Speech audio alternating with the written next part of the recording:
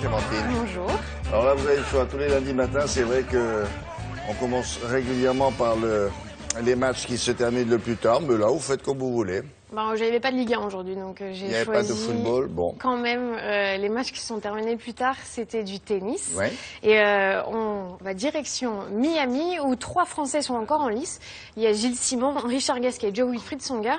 Et vous voyez, c'est sous la chaleur que Gilles Simon, en haut de l'écran, a disputé son troisième tour face au Slovène Grega Zliemja. En, euh, le Français n'a pas exactement brillé sous ce soleil floridien et n'a inscrit que six coups gagnants. Il l'a reconnu lui-même, il n'a pas été fantastique. Score final 6-4, 6-4. C'est l'autre qui a fait 46 fautes directes. L'autre perf de la journée, c'est celle du numéro 1 mondial, Novak Djokovic en haut de l'écran. Pas de problème face à l'Indien Somelev Devarman. Djokovic tenant du titre passe en huitième de finale à l'économie, 6-2, 6-4. La suite ne devrait pas poser de problème au Serbe puisqu'il a gagné à chaque fois qu'il a passé le deuxième tour.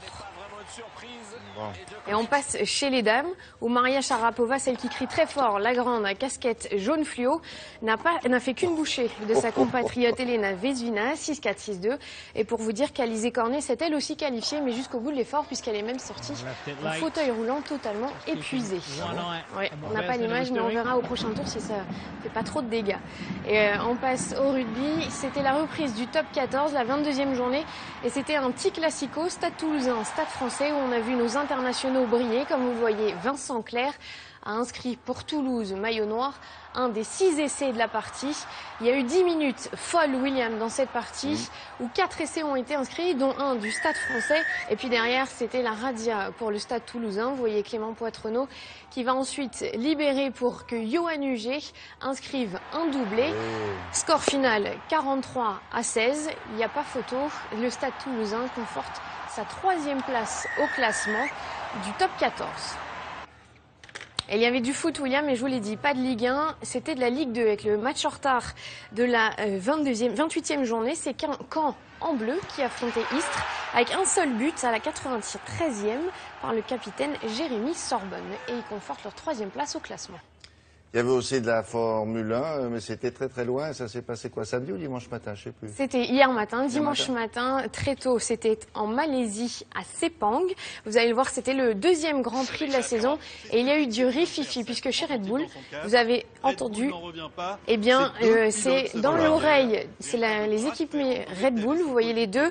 Euh, les managers de Red Bull sont furieux, puisque Sébastien Vettel a doublé son coéquipier alors qu'il n'avait pas le droit. Il n'a pas suivi les consignes de son écurie. Résultat sur le podium, regardez, ils font les deux, ils font la tête. C'était Marc Weber et Sébastien Vettel. C'était euh, du rififi hein, en Malaisie. Et regardez, c'était le troisième. Lewis Hamilton, eh bien, lui, il s'est trompé d'écurie, puisque l'année dernière, il était chez McLaren et il là, pique l'essence des autres. il s'est et, euh, il s'est arrêté à la mauvaise écurie. Maintenant, il est chez Ça alors. Mercedes. Là, on fait, euh, on part au Critérium international. Vous voyez, maillot vert, c'était. euh, c'était le Français Thomas Vauclair qui a abandonné et c'est Christopher Froome de Sky qui s'impose en Corse. On est à 100 jours du Tour de France quasiment ils viennent s'échauffer euh, sur ce critérium.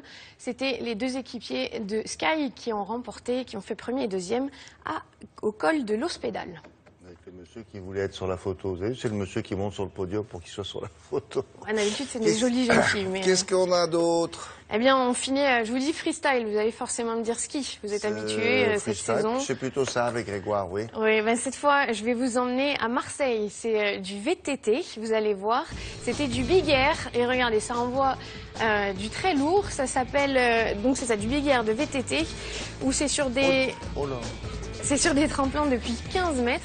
Et vous allez le voir, l'Espagnol Bienvenido Abuado a réalisé en VTT une figure inédite. Regardez, il y en a qui se cassent les dents. Regardez, regardez. C'est trois tours qu'il arrive à faire en l'air à plus de 15 mètres de haut. C'est une figure inédite. On peut voir qu'il est content parce qu'il en déchire Ah, est- même son maillot. Oh. Et contrairement euh, en foot, on ne prend pas de carton rouge quand on... ou carton jaune plutôt, quand on déchire son t-shirt. C'est bien, Clémentine. Ça va? Très bien. Bon, on se revoit mercredi? On se revoit mercredi, exactement. Bienvenue à la maison. Merci.